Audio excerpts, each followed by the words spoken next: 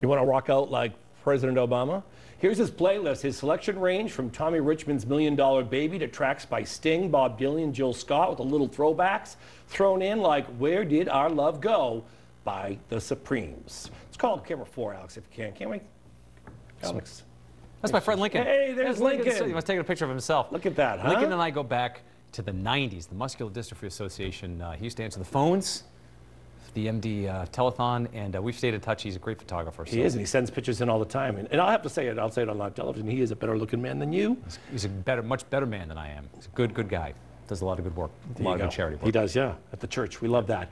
Hey, thanks for stopping by. We always love to see you. I hope you have a great rest of the night.